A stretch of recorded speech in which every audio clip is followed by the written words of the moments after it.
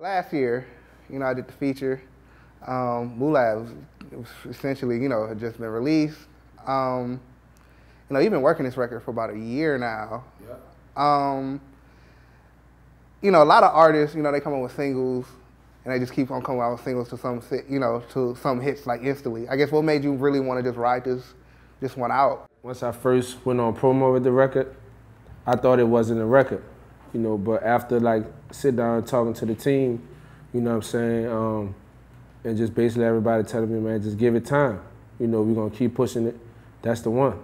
You know what I'm saying? It, it was a team effort. You know what I'm saying? Because you know I was kind of feeling a little different about it. You know, going performing in the tough markets and it's not really getting a response. You know, but once you know, you know, we came together collectively and came with a plan and the structure for the record. It started clicking. Went to hearing it on the radio, and it went to like interacting with the fans. It's over with. Cool. So what was that moment when it like kind of clicked and you started seeing like, oh, this single's really going? What was that moment that you kind of realized that? When I was on tour with Kevin Gates, um, I think it was like the fir- first or the second city, and the fans were singing it word for word. That's when I knew I was out of here with that record. What kind of wisdom did he impart upon you? Because you know he's a guy full of wisdom, man. So But you know, he just was like, listen, little brother, even if you know something, bro, you gotta play dumb sometime to get to where you gotta get at.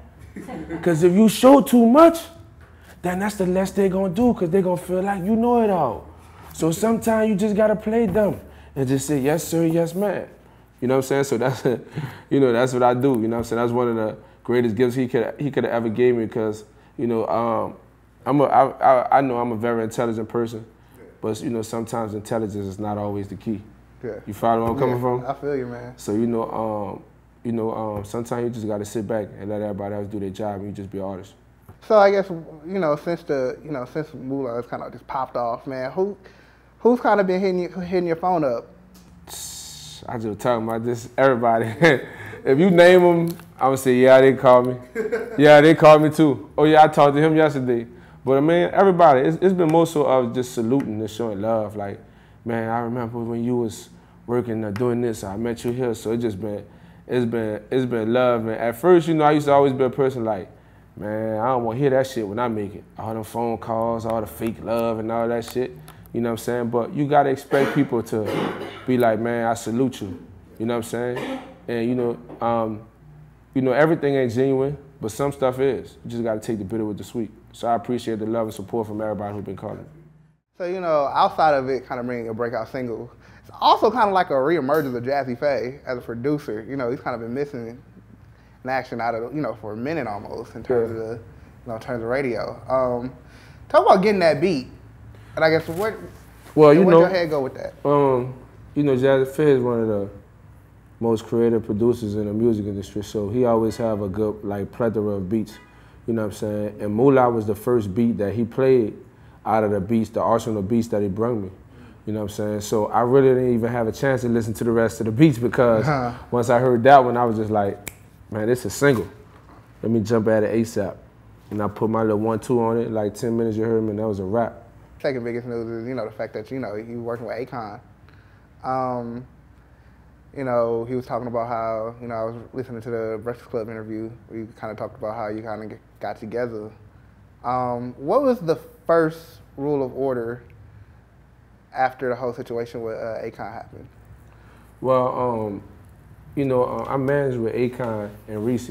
Yeah. He co-managed me with Reese, and one of the first things that uh, we did is just to came up with a structure so we could communicate a lot and talk, and so he could stay up on you know what's going on. Cause Reese with me day to day, so just the communication lines, keeping the communication lines open, and you know what I'm saying, being able to to to be honest with each other about everything. You know what I'm saying? That's the number one thing, just to be honest with each other about everything and having a, a, a definitive plan on every little thing that we're doing. You know what I'm saying? Because that's what's gonna help me get to the next level. You know, nothing work without a plan. So, you know, um, just collectively as, as a team between me, him, and Reese, you know what I'm saying? We work towards having a, a, a, a executed plan all the way down. You know what I'm saying?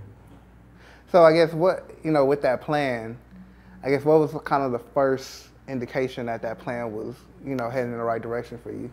Man, to be honest with you, like we like Moolah been going so fast to where Moolah, the, the growth of the record been beating our plans. You know what I'm saying? Yeah. so now it's like our plans is trying to catch up to, you know, the the, the growth of the record because every day something changing. Every morning I wake up, some change. So oh, this person, oh, this was Moolah. So it's like our plans is behind the record. Hmm. So we playing catch up. You know, which is which is still a, a good yeah, thing. Yeah, you know what I'm saying? So um, that's what we dealing with right now. Moolah is taking off fast, and I'm excited, and you know we're just trying to, you know, add to, you know, what I'm saying the growth and the success of the record as a team. So you know, what's the status of QC at the moment? You know, last year we had the, you know, Run Amigos, and then clearly this year you're having a big you know, big year. Um, I guess what's going on, you know, with the label itself, and I guess where's the momentum going? I mean, QC right now. I mean, the momentum with the label, everything has been going good. Every artist on the label been doing real good, making money. You know what I'm saying? And it's crazy because a lot of artists, you know what I'm saying, in in this industry, um, that's on labels. You know what I'm saying? I never seen an artist that had a label that have this many artists and everybody making money and everybody popping, everybody on the blogs. You know what I'm saying? It's to me, it's incredible. And you know what I'm saying? I, I salute. You know what I'm saying? Uh, Coach KP. You know what I'm saying? Reese, the support cast of everybody who you know helping. You know what I'm saying? The artists on the label get to where they have to get at. You know what I'm saying? So as far as the label as a whole, man, you know we doing good. It's QC the label. What's the plan for a follow up? I mean, I have several follow-ups, so just know I'm ready, baby. I'm in the cut like where I'm shooting at, you know what I'm saying? so I got several follow-ups, but I'm excited about. I try to tell them too. You know, you mean you talk, you know, you did the, you know, the cover about, you know, the first I try to tell them, but this I try to tell them too is gonna be the project that solidifies me, and this is gonna be a project where, you know, the next single is gonna come off. You know what I'm saying? So I'm very, very excited about that. I can't wait. I wish we was dropping it tomorrow. Huh. So what's the plan? So how do you kind of go from you know everything you you kind of established to I tried to tell them too.